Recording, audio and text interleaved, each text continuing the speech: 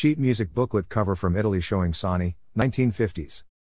Amru Sani was a singer and actress who experienced short lived fame in the United States during the 1950s and 1960s. A tall, exotic creature with a powerful, bluesy voice, she identified herself during her American heyday as hailing from India, but earlier newspaper references identified her as Jamaican. A 1954 edition of the Kingston, Jamaica, the Gleaner called her a Jamaican enchantress of song. Sani once claimed to have been born in Panama, to have grown up in India, to have been educated in Europe, and to have served as an airplane mechanic in England during World War II because she was too young to become a female pilot. Whether some of this information is merely show business hype is unknown. However, the Kingston Gleaner did note in 1943 that Sani, who was already known in Jamaica as a singer, was going to England shortly to join the WAAFS. This article also listed her as the only daughter of Mr. and Mrs. MP Sani of 10. Lundford Road, St. Andrew, Jamaica, Sani once named Dinah Shore as a major influence, citing in particular as a favorite tune Shore's Mad About Him, Sad About Him, How Can I Be Glad Without Him Blues. She sang in four languages English, French, Italian, and Spanish. In 1942, she appeared with the highly popular Milton McPherson Dance Band of Jamaica at the Carib Theatre in Crossroads, Street. Andrew. In 1947, she appeared at the Morgan's Cove nightclub in Kingston, Jamaica, where she starred in a show called Romantic Midnight Mood.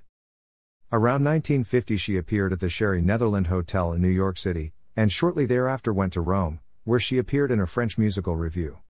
That French musical review may have been Plein Feu, in which she co starred with Maurice Chevalier. Between 1956 and 1958, she made several appearances on The Ed Sullivan Show, including the episode on which Elvis Presley made his first Sullivan appearance.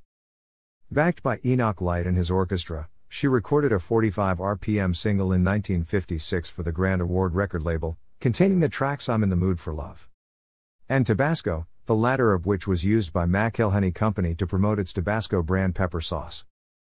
Time magazine reviewed the former track in July 1956, observing, Sani begins this oldie with a series of racking, echoing groans, but then picks up a twinkle of humor that makes everything all right.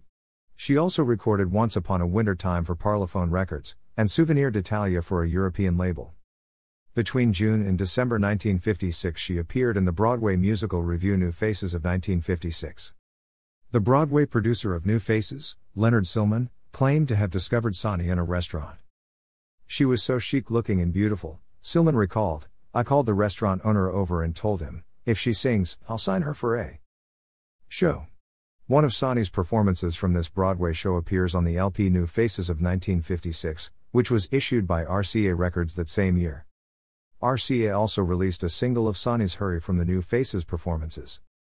As an actress, Sani appeared in the early spaghetti western Maracatumba, Ma Non e Una Rumba, The Naked Maja, and John Huston's The Bible, in the beginning. Thanks for watching.